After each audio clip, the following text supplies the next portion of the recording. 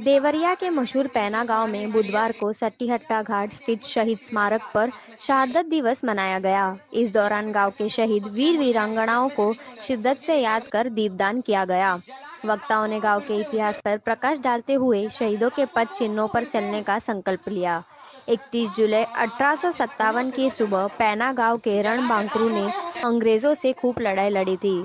उनसे लड़ते हुए गाँव के तीन वीर वीरांगनाओं ने प्राणों की आहुति दी थी।